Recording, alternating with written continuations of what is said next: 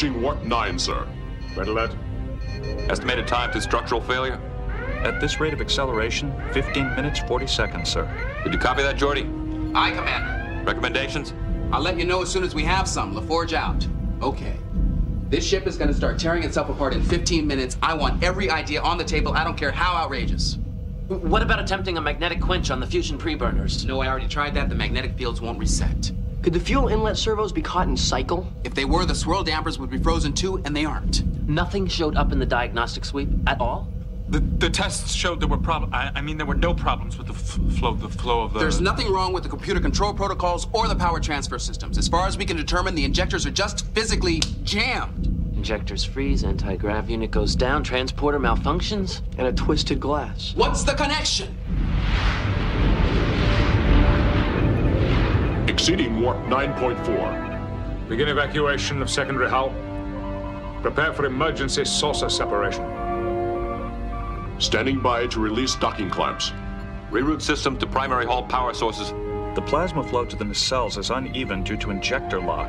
An emergency saucer separation could rupture the warp field.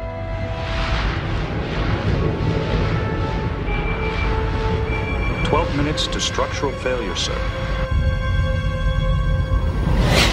None of the systems involved interact directly with each other. I don't see anything in common. What, what if? What if one of one of us is the connection? Us? How? I don't know.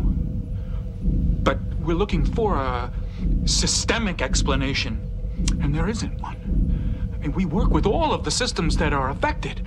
What if. What if we're transmitting something ourselves by. by touching it or something? The computer would have picked up anything dangerous. But if it was something. something that we couldn't scan, you might have passed it on to the injectors when you were realigning the magnetic capacitors. It was your glass, Duffy, and both of you were present in the cargo bay when the anti-grav failed. So was O'Brien.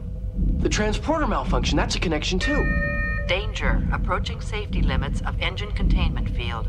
Computer, list all physical substances that wouldn't normally be picked up by an internal scan. There are 15,525 known substances that cannot be detected by standard scans.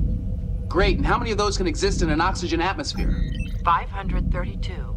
And could alter molecular structure when it comes in contact with, with glass? Five. On screen at this station. Duffy.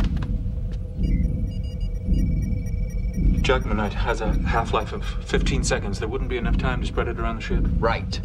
Selgninaem and leucovexitrum are highly toxic. Yeah, we'd all be dead by now. That leaves saltzgadum and invidium, neither of which has been used for decades. But could either one of them cause all these malfunctions? Most of the affected systems weren't even invented when those substances were in use. Who knows what could happen with a transporter or a magnetic capacitor? Wait a minute, wasn't invidium used in medical containment fields? Not for over a century. The Mikulaks might still be using it. And one of those canisters was broken. La Forge to bridge. We have a working theory, Captain. There's a good possibility we picked up some invidium from a broken canister in the cargo bay and have been spreading it around the ship. Working theories are fine, Geordi, but we need a working solution in about five minutes. Understood, Commander. We're on our way to cargo bay 5 for confirmation.